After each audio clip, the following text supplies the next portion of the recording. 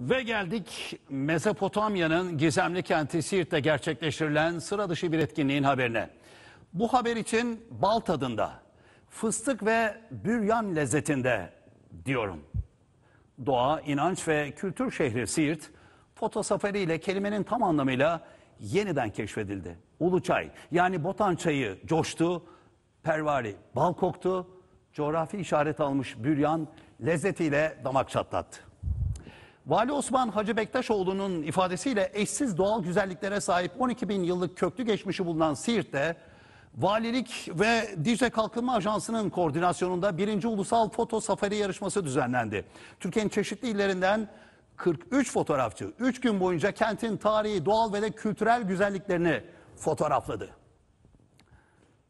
Bu kadar uzun anlattım çünkü jüri kadrosunda ben de yer alıyordum. Tanin Helvacı, Coşkun Aral, Murat Gür ve Adem Meleke'den oluşan Şahin Balkaya'nın da bulunduğu Foton Derneği'nin koordine ettiği bu yarışmada 142 fotoğraf arasından Tarhan İrtem'in Çoban ve Sürüsü adlı fotoğrafı birinci oldu.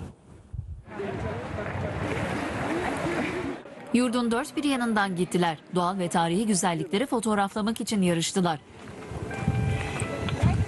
Siirt'te birinci ulusal foto safari yarışması düzenlendi. Mezopotamya'nın gizemli kenti Siirt temasıyla düzenlenen yarışmaya farklı illerden 42 fotoğrafçı katıldı. Çok güzel yerler gezdik. Şu anda Botan Çayı üzerindeyiz. Muhteşem bir manzarası var. Yani burada herkesin görmesi lazım. Siirt e, tarihi kültürel özellikleriyle gerçekten bulunmaz bir yer. Fotoğraf sanatçıları özellikle Botan Vadisi ve Botan Çayı'ndaki güzellikleri kadrajlarına aldı.